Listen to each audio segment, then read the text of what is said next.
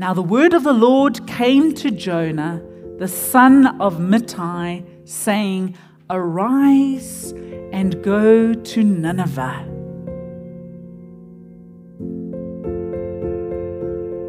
So, when you begin to unpack this book right from the beginning, and as God seems to call Jonah to go and give his message to the people at Nineveh, there is no conversation that happens between Jonah and God about the message that's supposed to be carried. We have Jonah who just hears what God is asking him to do and turns in the exact opposite direction and hightails it out of there. It's not unusual for prophets to have a little tug of war with God when He's asking them to deliver a message. For we have, uh, for instance, the, the prophet Jeremiah who says to God, when God asks him to go and deliver a message, Ah, Lord God, truly I do not know how to speak, for I am only a boy. Or perhaps Moses, who states, Who am I? To go to the great Pharaoh of Egypt in order to rescue the Israelites. Jonah says nothing. He just makes a beeline for the opposite direction. He doesn't bother with excuses, a conversation with God. He goes to Tarshish to board a ship and get as far away from God as possible. And once he boards that ship, as we heard in the story this morning, God then rise, raises up the waves and it becomes this turbulent situation. And while they're all running around trying to work out how to get out of this mess, the scripture tells us that Jonah was asleep in the bow of the boat, curled up on a cushion. That should ring a bell for those who remember the storm that Jesus was in in the boat. So there he is in the boat, not worried about what is happening. They wake him up frantically, asking him, Is it you? He confesses, Yes, it is me. God is angry because I haven't done what he's asked me to. How do we stop it? Well, you throw me overboard. Shame those other passengers and those crew members. They try everything because I think they feel sorry for Jonah. They don't really want to throw him overboard because they know he's not going to survive. But the storm just seems to get worse. So they do to save their own lives.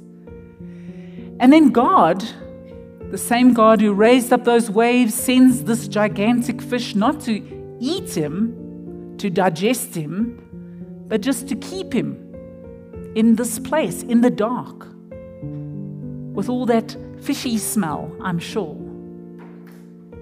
And one of the commentators says it's as if God puts Jonah in a timeout. You know, like when we put our children on the growing good chair or the naughty step, where they, they just need time to think about their actions and what's going on in order to come to their senses. And so Jonah does. He comes to his senses. He prays to God, he confesses his sin, and he agrees to go and deliver the message to Nineveh. And so the fish spits him out and he makes his way.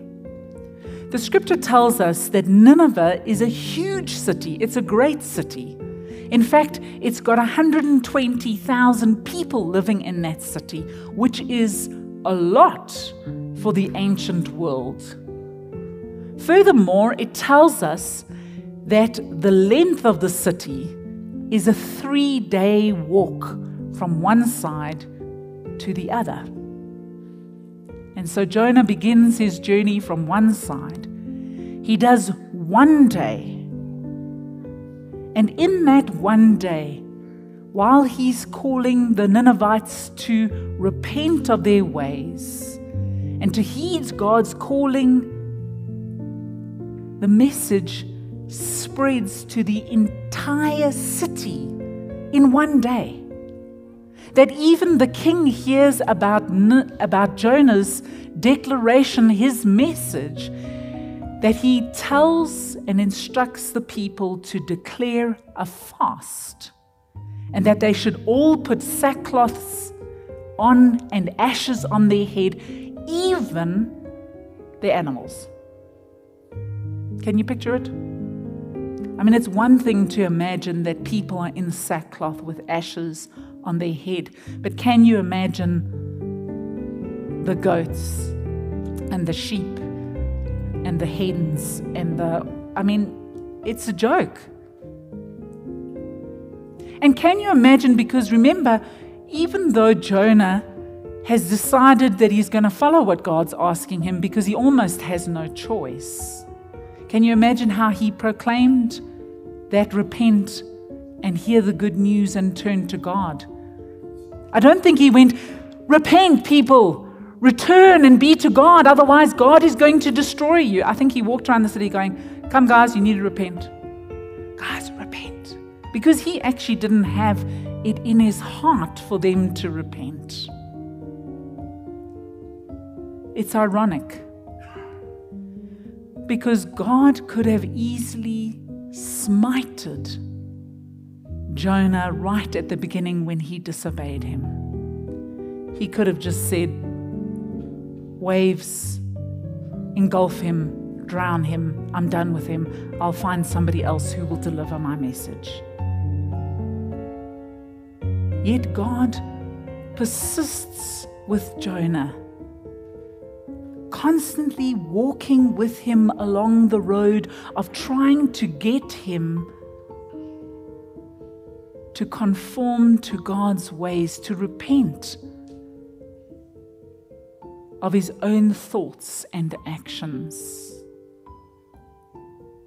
Jonah is receiving grace in each of these steps. It is only grace that is keeping him alive.